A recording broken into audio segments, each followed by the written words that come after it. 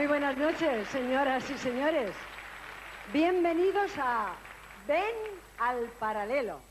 Bueno, les hemos preparado un espectáculo maravilloso, que se lo van a pasar bomba. Sara, por favor, Bo- Sara, un momentito. ¿Qué por pasa? favor. ¿Qué ocurre? No podemos empezar. ¿Cómo que no podemos empezar? No, La no señora. Bárbara todavía no ha llegado al teatro. Que la señora Bárbara no está en el teatro. Imposible, no me lo puedo creer. Sí. Porque, bueno, me está siempre dando la lata, la lata, la lata de que quiere ser presentadora. Y al, y al fin lo ha conseguido. ¿Y no está?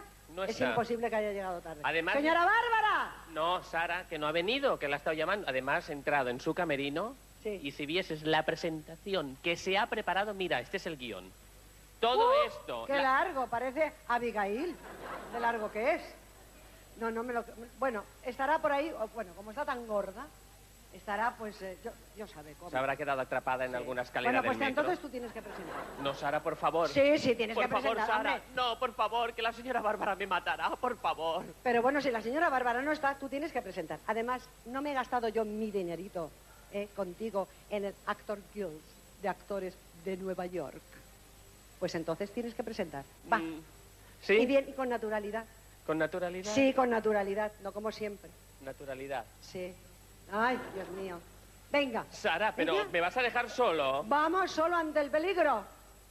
Te dejo solito. Pero Sara, por favor. Solito. Sara.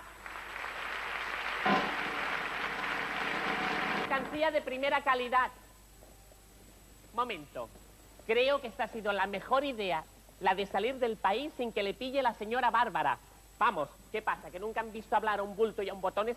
Perdón, señor Jimeno, lo de bulto no iba por usted. ¿Qué? Momento, a ver, ¿qué? ¿Qué? Ah.